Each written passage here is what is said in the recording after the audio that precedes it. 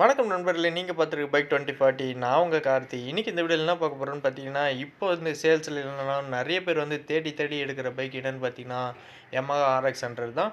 அந்த பைக்கில் என்னெல்லாம் பண்ணியிருக்காங்க என்னெல்லாம் மாடிஃபிகேஷன் பண்ணியிருக்காங்க அதெல்லாம் பார்த்து தான் இன்றைக்கி இந்த வீடியோவில் பார்க்க போகிறோம் நீங்கள் நம்ம சேனலில் புதுசாக பார்க்கணும் மறக்காமல் சப்ஸ்கிரைப் பண்ணுங்கள் பக்கத்தில் இருக்க பெல் பட்டனை ப்ரெஸ் பண்ணுங்கள் அப்போ தான் நம்ம போடுற வீடியோ உங்களுக்கு உடனே வரும்.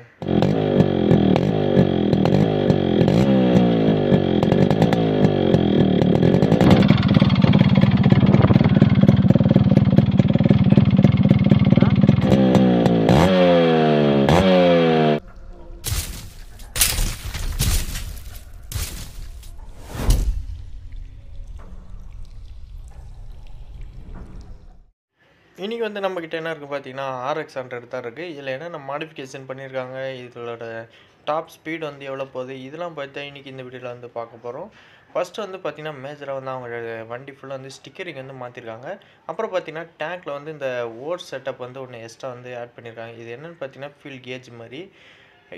ஃபியூல் வந்து உள்ளே எவ்வளோ இருக்குன்றது வந்து இந்த கேஜ் மூலமாக நீங்கள் வந்து வெளியே பார்த்துக்கலாம். அதான் எந்தளவு வந்து உங்களுக்கு பெட்ரோல் இருக்குன்னு வந்து இதுலேயே உங்களுக்கு வந்து பார்த்துக்கலாம். ஆனால் இதில் ஒரு ரிஸ்க் இருக்குது நீங்கள் வந்து சப்போஸ் நைட்டில் வந்து வண்டியை வந்து வெளிலலாம் விட்ற மாதிரி இருந்தால் இதை கட் பண்ணி பெட்ரோல் திருடுறதுக்கான வாய்ப்பு வந்து நிறையவே இருக்குது ஆனால் இவர் ரெடி பண்ணி கிட்டத்தட்ட ரெண்டு வருஷம் மேலே ஆயிடுச்சு. ஆனால் இது வரைக்கும் எந்த பிரச்சனையும் அதுமாதிரி வரல. அப்புறம் டேங்க்கில் பார்த்தீங்கன்னா ஃபுல்லாக வந்து ஸ்டிக்கரிங் பண்ணியிருக்காரு. அமெரிக்கன் ஃப்ளாக் மாதிரி. மேலே பார்த்தீங்கன்னா பேக்லாம் வச்சு ட்ரிப்லாம் போகும்போது போகிற மாதிரி ஒரு கேரட் மாதிரி செட் பண்ணி வச்சுருக்காரு. மேலே வந்து டேங்க்கில் அதுக்கப்புறம் பார்த்தோன்னா சைடில் வந்து அவெஞ்சர்ஸ் அந்த ஸ்டில்லாம் பார்த்தீங்கன்னா டேங்க்கில் வந்து பண்ணியிருக்காரு. செம்மையாக இருக்குன்னு நான் சொல்லணும். ஃபுல்லாகவே பார்த்தீங்கன்னா உங்களுக்கு வந்து அந்த அவெஞ்சர் அப்புறம் பார்த்தீங்கன்னா ஒரு அமெரிக்கன் ஃபினிஷ்லேயே அந்த பைக் ஃபுல்லாக பண்ணியிருக்காரு. ஸ்போக்ஸ் பார்த்தீங்கன்னா எக்ஸ்ட்ரா ஸ்போக்ஸ் வந்து போட்டிருக்காரு. அதுலேயும் பார்த்தீங்கன்னா அந்த ஃப்ளாக் கலர் வந்து ஃபுல்லாக பண்ணியிருக்காங்க. இதில் பார்த்தீங்கன்னா அந்த ஃபோக்ஸில் பார்த்தீங்கன்னா உங்களுக்கு வந்து ஒரு பிளாஸ்டிக் மாதிரி அது வந்து போட்டிருக்காரு. அது அது வந்து லுக் வந்து செம்மையாக இருக்குன்னு தான் சொல்லணும். அது வந்து பெயிண்ட் கிடையாது. ஒரு ஸ்ட்ரா மாதிரி இருக்குது பிளாஸ்டிக் ஸ்ட்ரா மாதிரி அது வந்து போட்டிருக்கேன் ஆனால் ஃபுல்லாக பார்த்தீங்கன்னா ரிம் ஃபுல்லாக ஸ்டிக்கரிங் பண்ணியிருக்காங்க. அமெரிக்கன் ஃப்ளாக் மாதிரி. வண்டி பார்த்தாலே தெரியுது செம்மையாக இருக்குதுன்னு தான் சொல்லணும். ஸ்டிக்கரிங் பண்ணி ரெண்டு வருஷம் கிட்ட ஆயிடுச்சு. அதனால் இப்போ வரைக்குமே செம்மையாக தான் கொடுத்துருக்காங்க அப்புறம் பார்த்திங்கன்னா அந்த பிரேக்கு வந்து அந்த எக்ஸ்ட்ரா டியூப் மட்டும் வாங்கி போட்டிருக்காங்க. அதுவும் நல்லாயிருக்கு இது ஸ்டாண்டு பார்த்திங்கன்னா அவெஞ்சர் ஸ்டாண்ட் வந்து இதுக்கு மாட்டியிருக்காங்க. இது என்னென்னு பார்த்தீங்கன்னா சாக் அப்சர் உள்ள ஸ்ப்ரிங்கை வந்து அவர் வந்து ஃபுட் ரெஸ்ட்டாக மாற்றி போட்டிருக்காரு.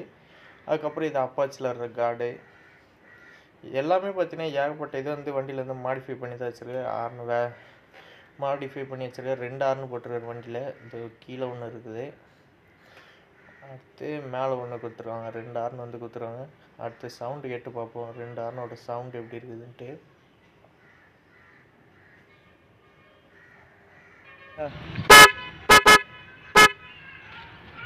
அது இன்னொரு ஆர்ன் என்னன்னா ஃபால்ட் ஆயிடுச்சு.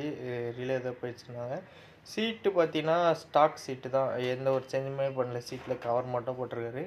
மற்றபடி சீட்டில் வந்து எந்த ஒரு மாடிஃபிகேஷனும் பண்ணல. சீட் வந்து அதில் என்னது அதே தான் அப்புறம் பார்த்தீங்கன்னா ஸ்பீடோமீட்டரில் வந்து மாடிஃபை பண்ணியிருக்காரு. ஆர்எக்ஸ் ஜெட்டில் உள்ள ஸ்பீடோமீட்டர் வந்து அந்த சைடில் வருது அதில் மாற்றி போட்டிருக்கு கீ செட்டப் வந்து கீழே போட்டிருக்காரு. அதில் வந்து மாற்றிருக்காரு சைட் லாக் பார்த்தீங்கன்னா உங்களுக்கு வந்து சைடில் வரும் அது வந்து சென்ட்ரலே அவங்க மாற்றிட்டாங்க சைடில் வந்து சும்மா டம்மி ஆகிட்டு மேலே வந்து சைடில் போடுற மாதிரி செட் பண்ணிட்டாரு அதுக்கப்புறம் பார்த்தோன்னா நமக்கு வந்து நம்பர் பிளேட்டில் வந்து பார்த்தீங்கன்னா சென்னை வசின்னு வச்சுருக்காரு. ஆனால் பார்த்தீங்கன்னா லீகலாக வந்து இது மாதிரிலாம் பண்ணக்கூடாது நம்பர் பிளேட்டில் இது வந்து கொஞ்சம் ரிஸ்க்கு தான். யாரும் வந்து ட்ரை பண்ணாதீங்க இது மாதிரிலாம். அதுக்கப்புறம் வந்து இப்போ ட்ரைவ் பண்ணி பார்ப்போம் வண்டி எப்படி இருக்குதுன்ட்டு. வண்டி பார்த்திங்கன்னா செம்ம பிக்கப்பாக இருக்குன்னு தான் சொல்லணும்.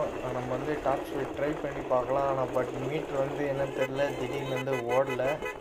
ஏன்னா வந்து ஆனால் நம்ம டெஸ்ட் பண்ணுவோம் எவ்வளோ போகுதுன்ட்டு. ஆர்டிஓ மட்டும் தான் தெரியும்.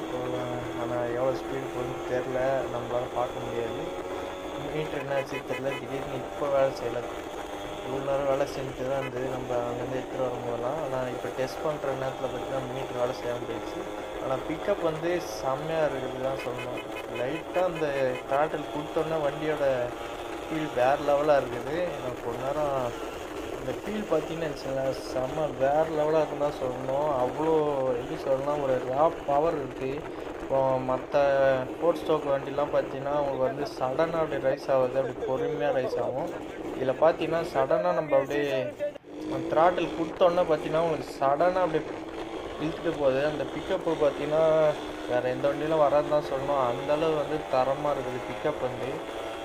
உங்களுக்கு வந்து நம்மளால் என்ன இந்த நேரத்தில் பார்த்து அந்த ஸ்பீடாமீட்ரு வேலை செய்யலை இல்லை டாப் ஸ்பீடு வந்து எவ்வளோ போகுதுன்னு செக் பண்ணிடலாம். எனக்கு தெரிஞ்சு தொண்ணூறு அந்த ரேஞ்சுக்கு மேலே தான் போகணும்னு நினைக்கிறேன். அது கம்மி போகிறதுக்கான வாய்ப்பு இல்லை. ஏன்னா ஆர்பிஎம் பார்த்தீங்கன்னா பத்தாயிரம் கிட்ட இப்போ ஒம்பதாயிரம் ஆர்பிஎம் கிட்ட வந்து போயிட்டுருக்கோம் ஆனால் என்ன இப்போ ஸ்பீடாமீட்ரு ஓடனா தெரிஞ்சிருக்கும். பார்ப்போம் இந்த கூடிய சீக்கிரத்தில். அது என்ன பாட்டுன்னு பார்த்துட்டு ஸ்பீட் டெஸ்ட் பண்ணி போடுவோம். எவ்வளோ தான் ஸ்டாப் ஸ்பீடு போகுதுன்ட்டு.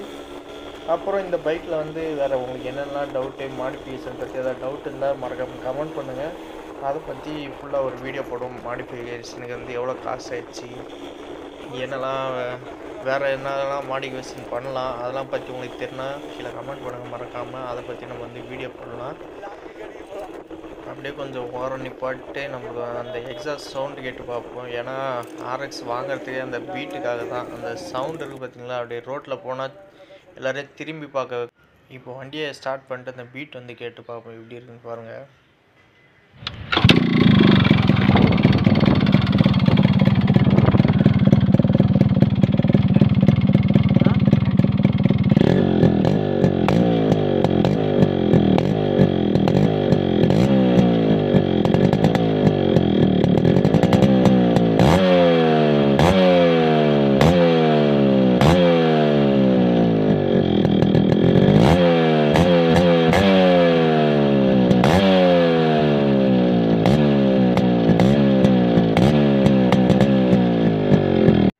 பீட்டு நீங்கள் கேட்டிருப்பீங்க. பீட்டு வந்து குறைய சொல்ல முடியாது. தரமாக குத்துறான். பீட் வந்து வேறு லெவலாக இருக்குது. இந்த பீட்டுக்காக பார்த்தீங்கன்னா இப்போ வந்து இந்த வண்டி வந்து சேல்ஸ்லேயே இல்லை. ஆனாலும் பார்த்தீங்கன்னா இதுக்குன்னு ஒரு எப்படி சொல்லணும் ஒரு ஃபேன் பேஸ் இருக்குது இந்த பீட்டுக்காகவே இந்த வண்டியை வந்து வாங்குறதுக்குன்னு. என்னதான் சேல்ஸில் இல்லைனாலும் பார்த்தீங்கன்னா செகண்ட்ஸில் வந்து தேடி தேடி வந்து ஆர்எக்ஸ் சென்டருக்கு வாங்குறாங்க. ஆர்எக்ஸ் சென்டருக்கு பார்த்தீங்கன்னா இப்போ வந்து செம்ம டிமாண்டுன்னே சொல்லலாம். இந்த பீட்டு அதுக்கப்புறம் அந்த லுக்குக்காகவே வந்து ஏகப்பட்ட ஃபேன் பேஸ் இருக்குது இந்த பைக்குக்குன்னு சொல்லலாம். அதுக்கப்புறம் பவர் வெறும் அந்த பீட்டு அப்புறம் லுக்குன்னு மட்டும் சொல்ல முடியாது. பவர் வந்து குறைய சொல்ல முடியாது. நீங்கள் வந்து எவ்வளோ பெரிய பைக் கூட வச்சாலும் பார்த்தீங்கன்னா அந்த இனிஷியல் டார்க் இருக்குது பார்த்தீங்கன்னா அந்த புல்லிங்கில் பார்த்தீங்கன்னா ஃபஸ்ட்டு வந்து இழுத்துட்டு போயிடும் ஃபஸ்ட்டு ஹண்ட்ரட் கூட போகும். சான்ஸே இருக்காது. அந்த அளவு வந்து உங்களுக்கு வந்து இனிஷியலில் பவர் வந்து செம்மையாக கொடுத்துட்றாங்க அந்த எப்படி சொல்லணும்னா பவர் வந்து நீங்கள் ஃபீல் பண்ணால் தெரியும். உங்களுக்கு செம்மையாக இருக்குது. பவர் வந்து குறைய சொல்ல முடியாது. அந்தளவு வந்து பவர் வந்து குத்து வச்சுருக்காங்க. அதுக்கப்புறம் பார்த்தீங்கன்னா உங்களுக்கு வந்து ஆர்எக்ஸ் ஹண்ட்ரடை பற்றி நிறைய வீடியோ வேணுன்னா க மறக்காமல் கமெண்ட் பண்ணுங்கள் நம்ம வந்து ஆர்எக்ஸ் ஹண்ட்ரடை பற்றி நிறைய வீடியோ போடலாம். அதுக்கப்புறம் ஆர் ஆர்எக்ஸ் ஹண்ட்ரட் மாடிஃபிகேஷனை பற்றி எதாவது உங்களுக்கு டவுட் இருந்தால் கீழே கமெண்ட் பண்ணுங்கள் அதை பற்றி வீடியோ போடலாம். இந்த வீடியோ அவ்வளோ தான் இந்த வீடியோ பிடிச்சிருந்தா லைக் பண்ணுங்கள் பிடிக்கலாம் கீழே கமெண்ட் பண்ணுங்கள் வீடியோ பார்த்து முடிச்சோன்னா மறக்காம நம்ம சேனலை சப்ஸ்கிரைப் பண்ணிடுங்க பக்கத்தில் இருக்க பெல் ஐக்கனும் ப்ரெஸ் பண்ணிடுங்க அப்போ தான் நம்ம போகிற வீடியோ உங்களுக்கு உடனே வரும். உங்களுக்கு பைக்கை பற்றி எந்த டவுட்னாலும் கீழே கமெண்ட்டில் சொல்லிடுங்க